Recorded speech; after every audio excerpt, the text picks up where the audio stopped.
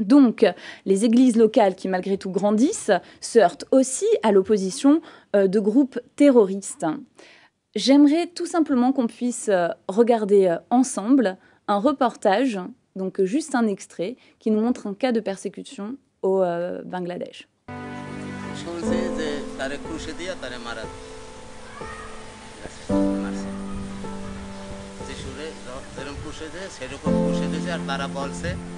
যে তোমার যিশু মুরগে জীবিত হয়, যদি আমরা তোমারা মারবো তোমরা যদি তুমি যদি মুরগে জীবিত তাই আমরাও এই ধর্ম আমরা বিশ্বাস করব এই কথা আমরা করছি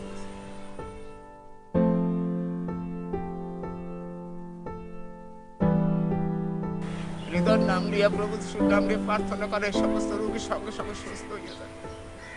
কারণ আমরা ক্ষমা করব না, আমার পিতৃশ্বর তো আমাদের ক্ষমা করেছে।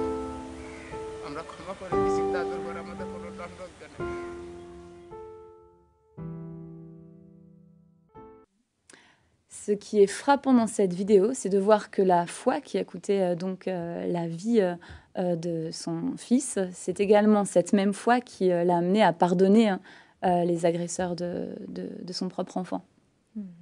On peut vraiment parler de la puissance du pardon. Hein. C'est vraiment un acte fort et que parfois on peut associer, à assimiler à quelque chose de lors de la fuite ou de la lâcheté, alors que en fait c'est tellement courageux.